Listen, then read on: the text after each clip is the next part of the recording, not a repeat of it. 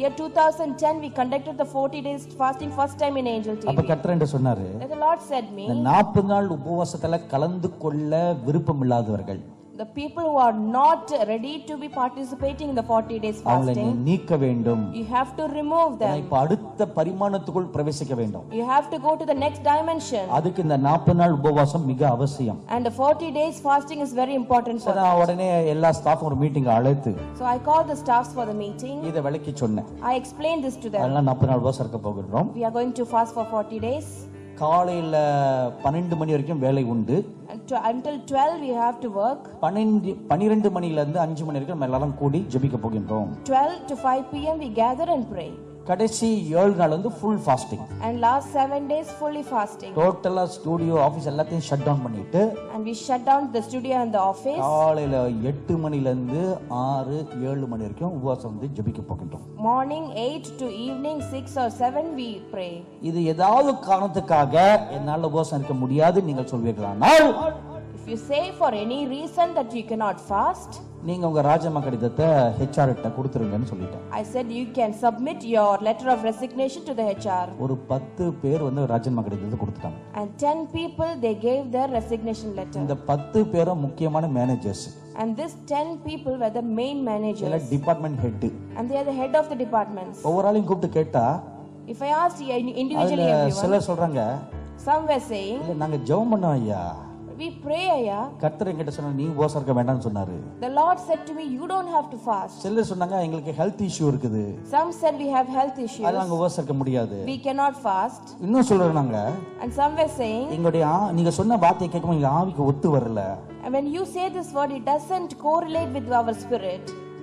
நான் சொன்னேன் okay fine I said, It's okay. ஆனா பத்து பேர் முக்கியமான managers Uh, these 10 were the main managers. நான் போய் ஜெபம் பண்ணேன் And I prayed. என்ன ஆண்டவர் பத்து பேரும் போயிட்டா இந்த வேலையை எப்படி செய்ய போறோம் அப்படின்னு I prayed, Lord, if 10 of them leave, how we will do the job? பத்து பேர் போனா நூறு பேர் நான் உனக்கு அனுப்புவேனான்னு சொன்னாரு The Lord says, 10 people goes, 100 people I will Amen. send to you. சரி போங்கடான்னு சொல்லியாச்சு I said, okay, it's okay for you to go. நாற்பது நாள் ஜெபத்தை நடத்தி முடிச்சோம் 40 days we finished the prayer. அந்த பத்து பேருக்கு பதிலாக இன்னும் அதிக திறமை உள்ள அதிகமாக கர்த்தருக்கு பயப்படக்கூடிய புதிய ஸ்தாஃப்களை கர்த்தர் கொண்டு வந்து சேர்த்தார் And instead of that 10 people who left, the Lord gave more people with more talents and more God fearing. ஆமென் ஆலயம் சுத்திகரிக்கப்பட்டால் If the house is being cleansed, கர்த்தர் தம்முடைய மகிமையை ஊற்றுவார் the Lord will pour his glory. So தவறான ஒரு ஆலயத்தில் நீங்க இருந்தால் If you are in a wrong church, கள்ளர் கொகையை போல இருக்கிற ஒரு ஆலயத்தில் நீங்கள் இருந்தால் if you are in a church where it is like a den of thieves, அந்த ஆலயத்துல கர்த்தருடைய மகிமை வராது the glory of the Lord will not come in that place. கர்த்தருடைய மகிமை இந்த ஆலயத்துல வரலன்னா If the glory of the Lord did not come in that place, நீங்களும் எப்படி அந்த மகிமை பெறுவீர்கள் how you will receive that glory?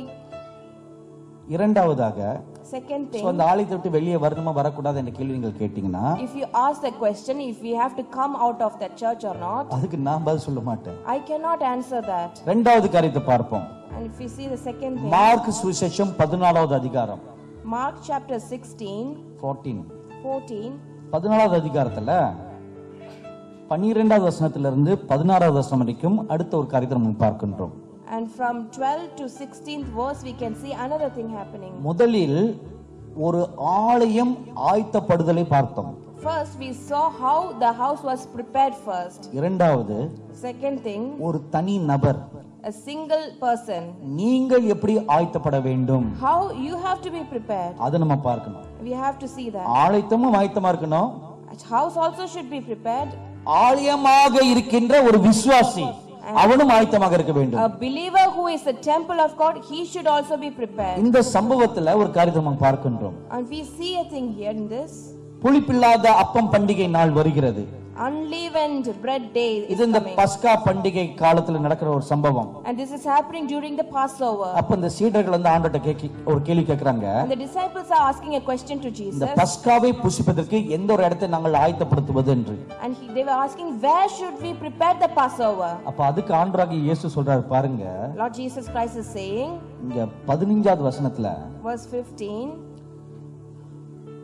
ஒரு ஆயத்தமாக்கப்பட்ட ஒரு மேல் அறை இருக்கிறது And I will show you a prepared and furnished upper room. furnish என்றால் முழுதாக சுத்தமாக்கப்பட்டு ஆயத்தமாக்கப்பட்ட ஒரு அறை Furnished means it is fully cleaned and prepared ready. இது ஆங்கிலத்துல ரொம்ப அழகாக இது சொல்லுகிறது And in English it is beautifully described furnish and prepared furnished and prepared. ரெண்டு வார்த்தை இருக்குது There are two words there.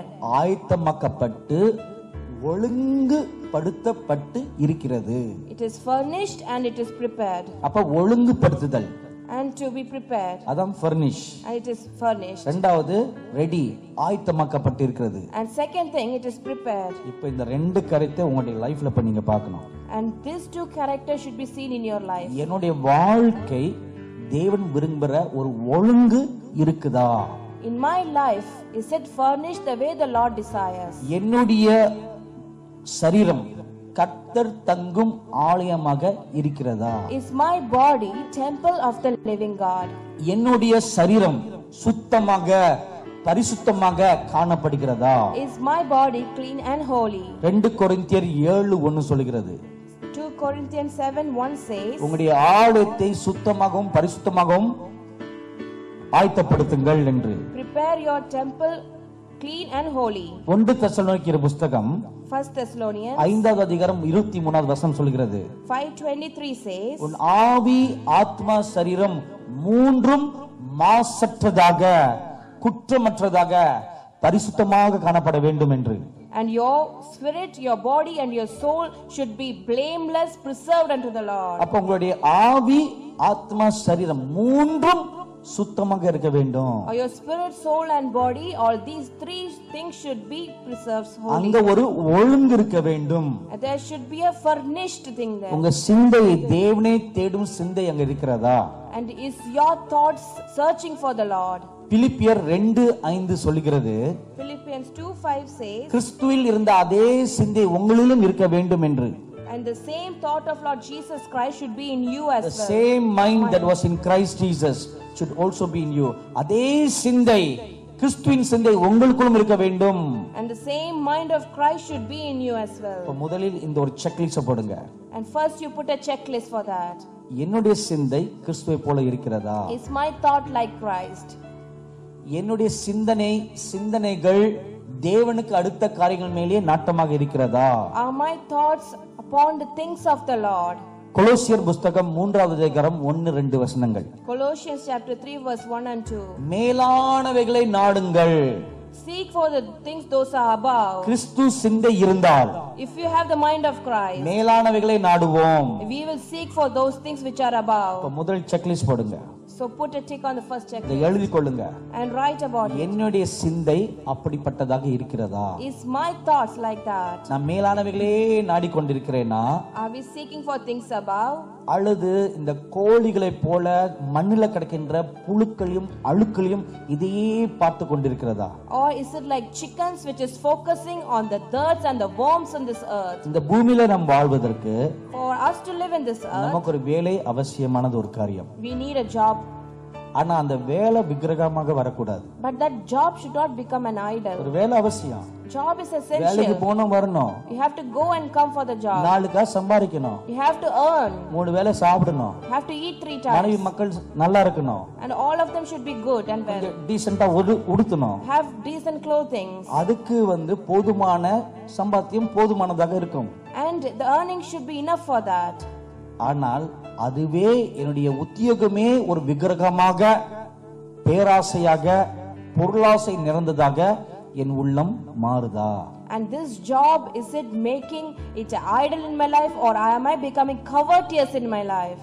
அப்படி இருந்தால் அது பாவம் If it is so, it is a sin. So, சிந்தை மேலானவைகளை நாடுதா Is my mind seeking for things above? இரண்டாவதாக Second thing, ஆவி spirit. இருதயத்தில் சுத்தமுள்ளவன் பாக்கி இருதயத்தில் சுத்தமுள்ளவன் பாக்கியவான் அவன் தேவனை தரிசிப்பான் Blessed are the pure in heart, he will see God. மத்தேயு ஐந்து எட்டு Matthew chapter 5 verse 8. ஹெப்ரியர் பனிரெண்டு பதினாலு சொல்கிறது Hebrew chapter 12 14 says, பரிசுத்தம் இல்லாமல் ஒருவனும் தேவனை தரிசிக்க கூடாது என்று Without holiness no one can behold God. அப்ப என்னுடைய இருதயம் சுத்தமாக இருக்கிறதா Is my heart clean? இப்ப நம்ம தேவனை தரிசிக்கணும் I have to see God. அநேகர் நம்ம வாஞ்சிக்கணும் Most of us நான் desire, இயேசுவை பார்க்கணும் I want to see சின்ன God. பிள்ளைங்களாம் தரிசனம் பாக்குறாங்க And the children, children are ஏன் என்னால. பார்க்க முடியலன்னு பெரியவங்க வாஞ்சிக்கிறாங்க Elders see why I am not able to see. சின்னவங்களுடைய மனசு சுத்தமா இருக்குது And the heart of the little one is clean. கபடு கிடையாது There's no wickedness. சுத்தமான சிந்தை And is clear thoughts, சுத்தமான மனசு pure heart, கள்ளம் கபடம் இல்லாத ஒரு சிந்தை மனசு and a heart without any wicked or crookedness. அதே கள்ளம் கபடம் இல்லாத ஒரு மனசு பெரியவங்களுக்கு இருக்குதா Is the same kind of heart, is it there for the adults?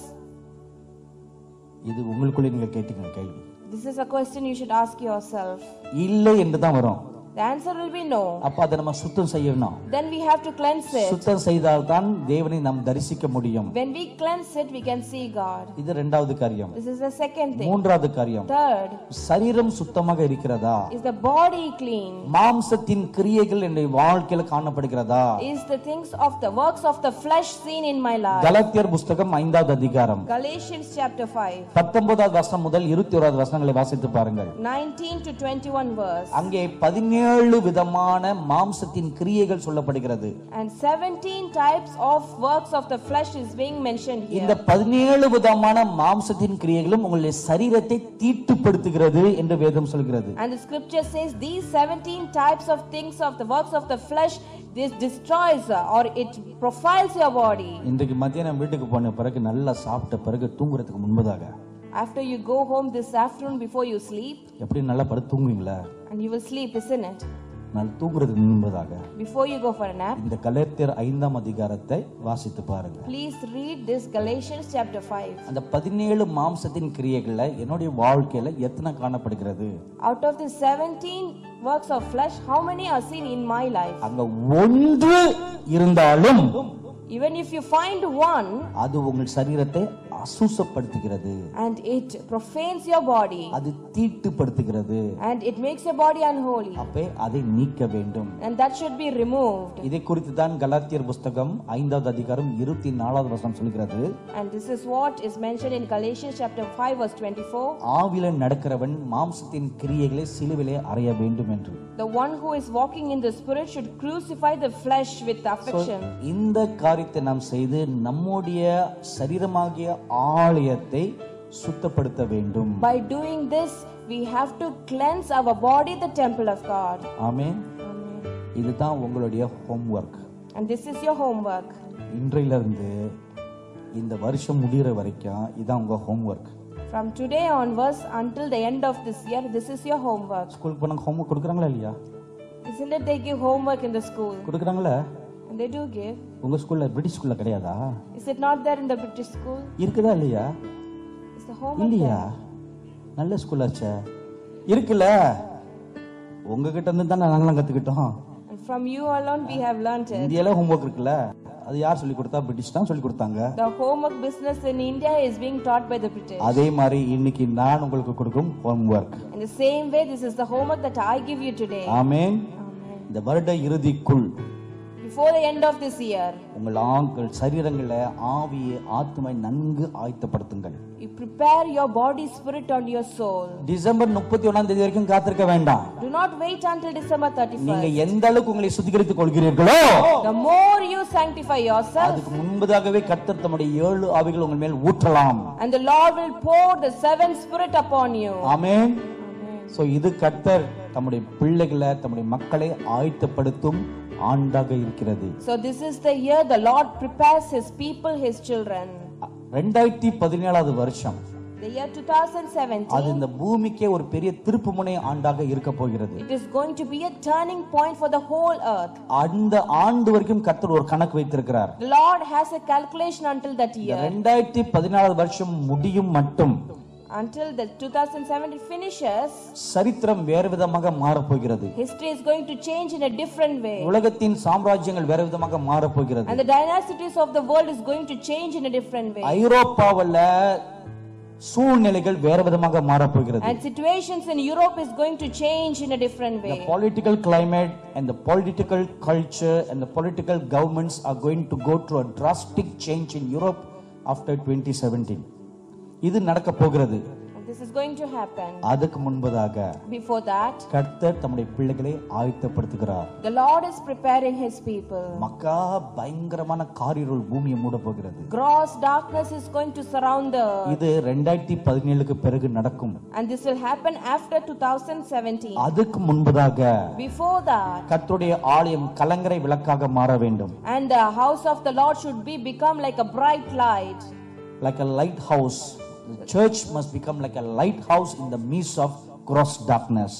அதே போல கர்த்தருடைய பிள்ளைகளும் ஒவ்வொருவரும் ஒரு தீபங்களாக மாற வேண்டும் In the same way, the children of God should become individual lamps. Amen. Amen. அது உங்க கையில இருக்குது And it is in your hands. இருளா இருளாக இருப்பதும் வெளிச்சமாக மாறுவதும் உங்கள் கையில் இருக்கிறது It is in your hands to become darkness or to become bright light. எனக்கு அருமையானவர்களே My dearly beloved, உங்கள் எல்லார் மேலும் கர்த்தர் தம்முடைய ஏழு ஆவிகளை ஊற்றி உங்களை வல்லமையாக ஒரு விளக்காக வெளிச்சமாக உபயோகப்படுத்த தேவன் விரும்புகிறார் the Lord desires to pour His seven spirit on each and every one of you and use you. நான் மீண்டும் சொல்லுகிறேன் I say again, சிறு பிள்ளைகள் மேல upon the little children, வாலிபர்கள் மேல upon the youths, வயோதிபர்கள் மேல upon the elders, ஊழியர்கள் மேல upon the ministers, குறிப்பாக பெண்கள் மேல especially the women. இப்பொழுது கர்த்தருடைய கண்கள் அவர்கள் மேல இருக்கிறது The eyes of the Lord is set upon them. உங்கள் நேரம் இப்பொழுது வந்துவிட்டது Your time has come now. Amen Amen. நீங்கள் எழும்பி பிரகாசிக்க வேண்டிய நேரம் வந்துவிட்டது And it is time that our rise and shine. அதுக்கு நாம் ஆயத்தப்பட வேண்டும் And we have to be prepared for that. Amen Amen. நாம் எல்லாரும் எழுந்து நிற்போம் Let us all rise to our feet. தொடும் என் கண்களையே. உம்மை நான் காண வேண்டுமே. இயேசுவே மெய்யை நான் காண வேண்டுமே. தொடும் என் மனதினையே. மனப்புண்கள் ஆற வேண்டுமே. இயேசுவே மனப்புண்கள் ஆற வேண்டுமே. தொடும் என் ஆண்டவரே தொடும் என் ஆ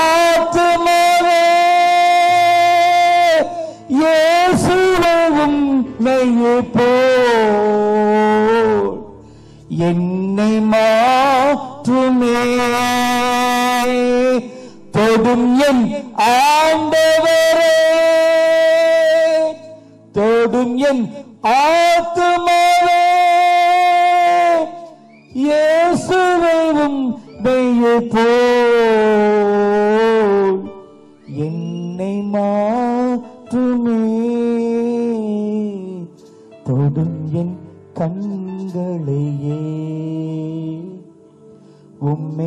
நான் காண வேண்டுமே. இயேசுவே உம்மையை நான் காண வேண்டுமே. தொடும் என் செவிகளையே. உம் குரல் கேட்க வேண்டுமே. இயேசுவே உம் குரலை கேட்க வேண்டுமே மக பரிசுத்தமுள்ள என் நல்ல பிதாவே Our Heavenly Father, full of holiness.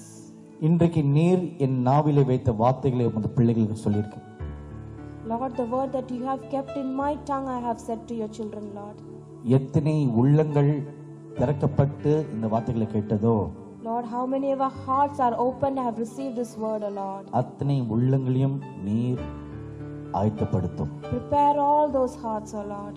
எத்தனை சிந்தனைகளை இன்றைக்கு நீர் திறந்தீரோ How many thoughts you have opened today, Lord? அத்தனை சிந்தனையிலும் உடைய வார்த்தைகளையும் கற்பனைகளையும் எழுதுவீர்களாக On all those thoughts, write your word and your commandment, Lord. எத்தனை இருதயங்கள் இன்றைக்கு நீர் திறந்து How many of our hearts you have opened today, Lord? அந்த உம்முடைய வார்த்தைகளே ஒரு நல்ல நிலத்துல விதும் விழும் விதைகளை போல விழுந்ததோ The way how the seed falls in the good land as it has fallen today, O Lord. அது ஒவ்வொருவரும் இப்பொழுது நீர் தொட்டு ஆஸ்வதிப்பீராக Touch each and every one and bless them, Lord. நீரே எங்களது நல்ல மேய்ப்பராக இருக்கிறீர் You are our good shepherd.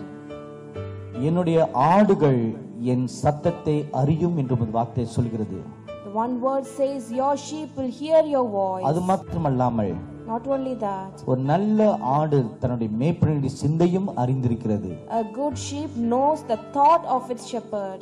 நீர் எங்கள் நல்ல மேய்ப்பனாக இருக்கிறீர் You are our good shepherd. இப்பொழுதும் இந்த ஆலயத்துல நீர் உமது பிள்ளைகள் ஒவ்வொருடனும் பேசியிருக்கிறீர் Even now you have spoke to each and every one of your children in this church. அந்த பிள்ளைகள் ஒவ்வொரும் தங்கள் இருதயங்களை திறந்தவர்களாக உடைய வார்த்தையை இன்றைக்கு கேட்டார்கள் And opening their hearts, everyone have received your word today, Lord. உடைய காரூணியம் அவர்கள் மேல் இப்பொழுது தங்கியிருப்பதாக May your compassion and mercy rest upon them now. இந்த ஆலயத்தில் இருக்கிற சிறியோர் And the ch- little children in this house, வாலிபர்கள் and the youths, வயோதிபர்கள் elders, ஊழியர்கள் ministers, விருந்தினர்களாக வந்திருக்கிற வெளியினர்கள் and the guests you are here. அவர்கள் மேலும் உடைய கண்ணோக்கி பாருங்க Lord, look upon them, Lord. அவர்கள் ஒவ்வொரு மீதும் உடைய ஆஸ்வதிக்கும் கரத்தை இப்பொழுது நீ வைப்பீராக Lord, keep your blessing hands on each and every one, Lord. இன்றைக்கு இவர்களை நீரே அழைத்து வந்திருக்கிறீர் Today you have called them here. அவர்களாக இங்க வரவில்லை They do not come by themselves. உம்முடைய ஆவினால் ஈர்க்கப்பட்டு அவர்கள் இன்- இன்றைக்கு இங்கே வந்திருக்கிறார்கள் And uh, being drawn by your spirit, they are here today. நீரே அவர்களை முத அன்பின் கயிற்றினால் கட்டி எழுத்ததினால் And because you have drawn them close with the cords of your love, உம்முடைய வார்த்தைகளை ஒரு சுருளிலில் பத்திரப்படுத்தி அவர்கள் இருதயத்திலே வைத்திருளும் சுவாமி Lord, your word, put it in a safe scroll and put it in the heart, Lord. இந்த ஆலயத்தின் மீது முத ஆவின் அபிஷேகத்தை வல்லமையாக ஊற்றுவீராக Lord, to this church, the anointing of your spirit, pour it mightily, O Lord. இந்த ஆலயத்தின் ஊழியரை நீர் ஆஸ்வதியும் Bless the minister of this church, O இந்த Lord. ஆலயத்தின் மூப்பர்களை ஆஸ்வதியும் Bless the elders of this church, இந்த Lord. ஆலயத்துல உதவியாளர்களை ஆஸ்வதியும் Help the help, bless the helpers of this church, O Lord. இந்த ஆலயத்துல பற்பல விதமான பணிகளை செய்கின்ற உதவியாளர்களை ஆஸ்வதிங்க Lord, bless the various ministers who work, O Lord, Master, in this church. இந்த ஆலயத்தில் இருக்கிற ஒவ்வொரு விசுவாசியும் ஆசிர்வதிங்க Bless every believers in this church, O Lord. ஒருவராகிலும் வீணாய் போகாதபடி Not even one should perish. ஒருவராகிலும் உம்முடைய வரங்களை பெற்றுக்கொள்ள கூடாதபடிக்கு Not even one should not be there without receiving your gifts. வழியில விழுந்து போகாதபடிக்கு Not falling on the way, Lord. அவர்களை நீர் பத்திரப்படுத்தி காத்துக் கொள்ளுங்க You protect them and guard them, Lord. நன்றி சுவாமி Thank you, Lord. பாஸ்டர் முன்னாடி வாங்க உங்க உங்க ஃபேமிலி எங்க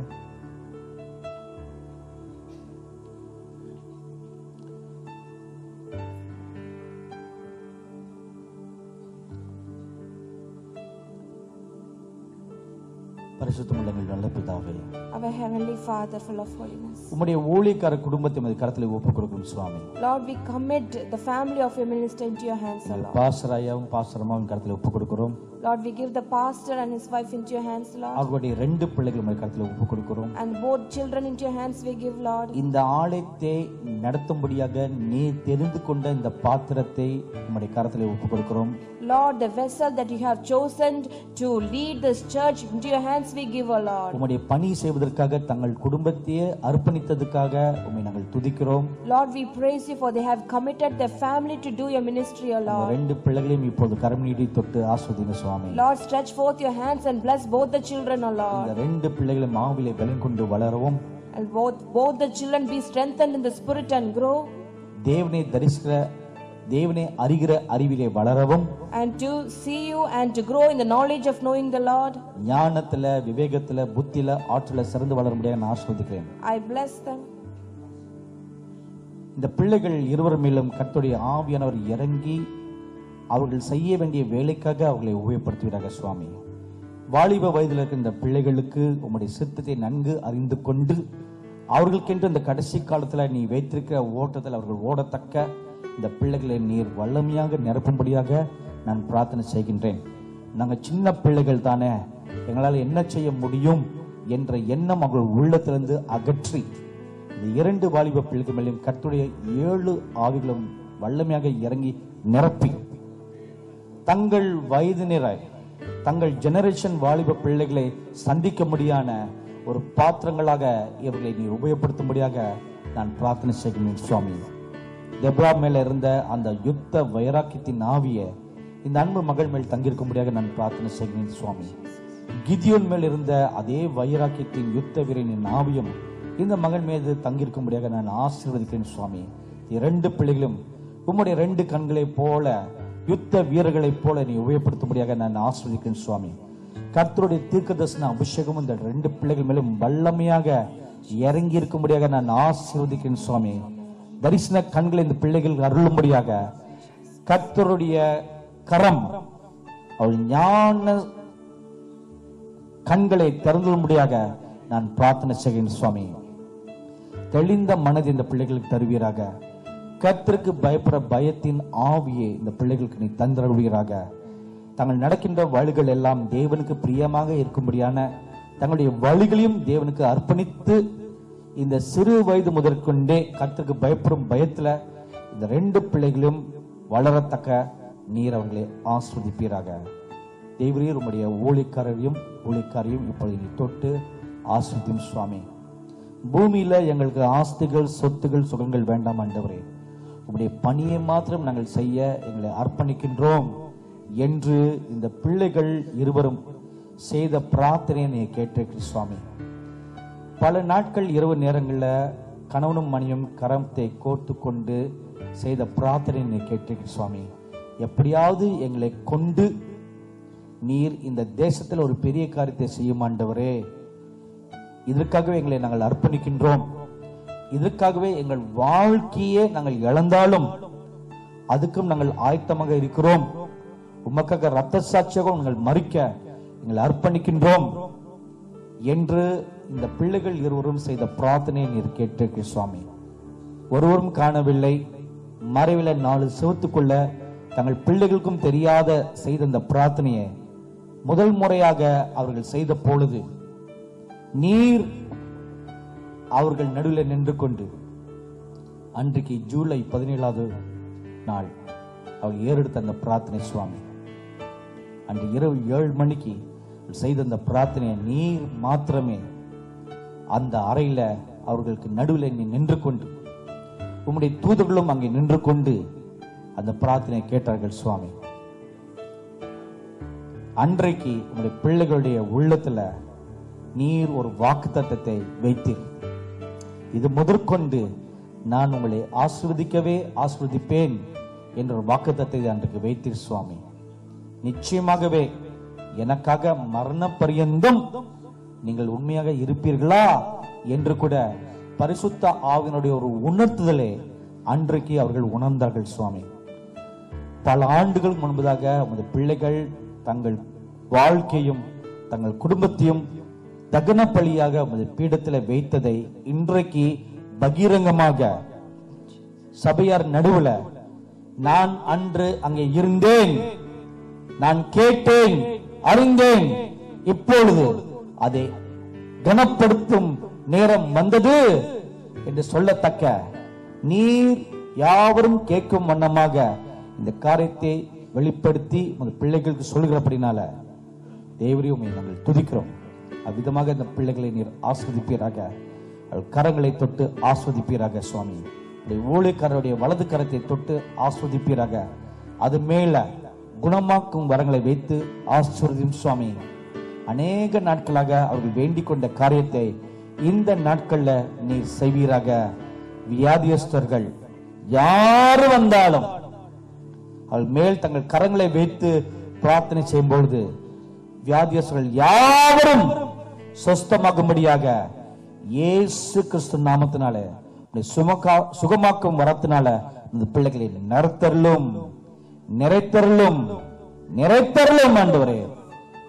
அதே போல நொறுமுந்த இருதயத்தோட வாழ்க்கையில தோல்வி அடைந்தவர்கள் எதிர்காலத்துல ஏமாற்றம் அடைந்தவர்கள் வாழ்க்கையை கேள்விக்குறியாக இருக்கிறதே. தேவனுடைய சித்தம் என்ன என்று நோக்கி அவர்களிடம் வரும்பொழுது உமது ஊழிய காரியம் தீர்க்கதரிசன வரத்தினால் நிரப்பி காலங்களை அறிந்து கொள்ளக்கூடிய ஞானத்தின் வரத்தினாலும் நிரப்பி. அவர்கள் நடக்க வேண்டிய வழிகள் இன்னதென்று போதிக்கத்தக்கதாக வழி நடத்தும் தக்கதாக. டெபரா எப்படி அந்த இஸ்ரேல் தேசத்துக்கு ஒரு நியாயாதிபதியாகவும் ஒரு தீர்க்கதர்சினியாகவும் இருந்து கொண்டு இஸ்ரேல் தேசத்தின் மக்களை வழி நடத்தினார்களோ? அதே போல இந்த சபையில் இருக்கிற மக்களையும் தன்னிட பிரார்த்தனையை வேண்டிக் கொண்டு வருகிற மக்களை வழிநடத்தத்தக்கதான இந்த திருச அபிஷேகத்தினால தீர்க்கதர்சன ஆவினால அந்த அன்பு மகளை நீ நிறைத்தருளும். நிறைத்தருளும் ஆண்டவரே நிறைத்தள்ளும் நன்றி இயேசுவே. உடைய காரூணியம் இந்த அருமையான குடும்பத்தை சூழ்ந்து கொண்டு பாதுகாத்துக் கொள்வராக ஒரு தீங்கும் வராதபடிக்கு ஒரு நன்மையும் குறைபடாதபடிக்கு அப்படி சகல தேவைகளும் அவர்கள் சந்தித்து நீர் பாதுகாத்துக் கொள்ளும்படியாக அவர்களை நான் ஆசீர்வதிக்கிறேன் சுவாமி. அதே போல இந்த சபையில பணிபுரிகின்ற ஒவ்வொரு ஊழியர்களையும் நீர் போது கரம் நீட்டி தொட்டு அவர்களை ஆஸ்வதிப்பீராக. இந்த ஊழியர்களும் உங்களுடைய குடும்பங்களிலும் தேவரின் காத்துக் கொள்வீராக. கத்திற்கு பணி செய்கிறவர்களுக்கு ஒரு நன்மையும் குறைபடாது என்று உங்கள் வார்த்தை சொல்கிறது எனினும் உங்கள் வார்த்தையும் சொல்கிறது அப்படிப்பட்டவர்களை பிதாவாகிய தேவன் கனப்படுத்துவார் என்று. அந்த வாத்தியம்படி இங்கே பணி செய்கிறவர்கள் காசு பணத்தை எதிர்பாராமல் தியாகத்தோட கர்த்தருக்கு பயப்பட பயத்தோடு பணி செய்கிற ஒவ்வொருவரையும் நீர் ஆசிர்வதித்து கனப்படுத்தும்படியாக நான் பிரார்த்தனை செய்கிறேன் சுவாமி. அதே போல இந்த சபையில அங்கத்தினர்களாக இருக்கிற ஒவ்வொரு அன்பு பிள்ளைகளையும் நீர் கரம் நீட்டி அவர்களை தொட்டு ஆஸ்வதிப்பீராக. உம்முடைய கிருபை அவர்களை சூழ்ந்து பாதுகாத்துக் கொள்வதாக அவருடைய தேவைகள் யாவரையும் சந்தித்தருள்வீராக. தீங்கானது அவர்கள் வாசல் அண்டையில கூட வராதபடிக்கு நன்மையானதும் அவர்களை விட்டு தூர விலக்கி இராதபடிக்கு உம்முடைய கிருபை எப்பொழுதும் உங்கள் தங்கியிருக்கும்படியாக நான் பிரார்த்தனை செய்கிறேன் சுவாமி இப்பொழுதும் இறுதியாக இன்றைக்கு இங்கே வந்திருக்க அனைவருக்காக நான் பிரார்த்தனை செய்கின்றேன் now I pray for each and everyone gathered here. வெளியிடத்துல வந்திருக்க ஒவ்வொரு அன்பு பிள்ளைகளுக்காக உங்களுக்கு நன்றி செலுத்துகிறோம் சுவாமி Lord, we thank you for every children who come from outside, O Lord. ஒவ்வொருவரும் உம்முடைய வார்த்தையை கேட்கும்படியாக வந்தார்கள் Everyone have come here to hear your word, Lord. பரிசுத்த ஆவினர்கள் உள்ளங்களை திறந்து அவர்களுக்கு வேண்டிய வார்த்தைகளை கொடுத்ததற்காக நன்றி Thank you, Holy Spirit, for opening your heart and giving them the word that they need. அவர்கள் ஒவ்வொருவரும் இனி நடக்க வேண்டிய வழியை இன்று முதல் அவர்களுக்கு நீ போதிக்கும்படியாக நான் பிரார்த்தனை செய்கின்றேன் I pray that you teach them the way that they should walk now onwards. எசிக்கில் ஒன்றாவது அதிகாரத்தில் நாங்கள் வாசிக்கின்றோம் And we read in Ezekiel chapter 1 கர்த்தருடைய சக்கரம் அங்கே வந்து நின்றது என்று And the wheel of the Lord stood there. அந்த சக்கரம் உமது பிள்ளைகள் ஒவ்வொருவரும் கடந்து செல்லும்படியாக நான் பிரார்த்தனை செய்கின்றேன் I pray that their wheel go around each and every one of them. கர்த்தருடைய ஜீவனை கொண்டிருக்கும் இந்த சக்கரம் That wheel having the life of God இனி அவர்கள் ஒவ்வொருடைய வாழ்க்கையிலும் தேவ சித்தத்தை வெளிப்படுத்தி காட்டுவதாக and in their life let it reveal the will of God. ஒவ்வொருவரும் வாஞ்சியோட தேவனை நோக்கி கேட்பார்களாக And let everyone with eagerness and thirst look unto the Lord and ask. As I am praying this prayer for all of you, I hear the voice of the Holy Spirit telling, speaking within me, giving you a counsel. Pray earnestly for the gifts of the Holy Spirit. Pray earnestly for my anointing. Pray earnestly for my presence never to depart from your life. Pray earnestly that you will remain in me.